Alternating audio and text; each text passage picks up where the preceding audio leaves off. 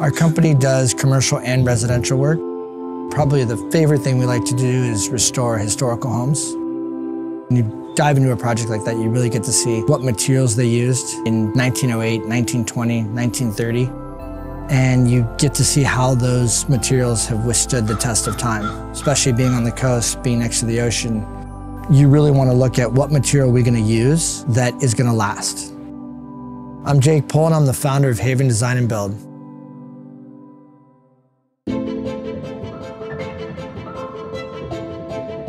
We want to find someone that wants to be challenged every day. They don't want to do spec homes. They want to build a custom house. They want to build a custom commercial space. One of our clients is from Madagascar. You know, these are people that are coming from all over the world. These people are bringing their influences from their country, their cultures. They're wanting to bring to La Jolla and recreate maybe a house that was built in the 20s, the craftsman homes to Spanish homes to mid-century modern homes, but of course bring their culture and their influence into that home. Some of the best craftsmen that we like to work with, they're not adverse to risk. They're willing to take something that we design, something that we draw, and go on their own and take it to another level. We're gonna take this 1908 house and we're gonna take it apart like a piece of Legos and we're gonna put it back together.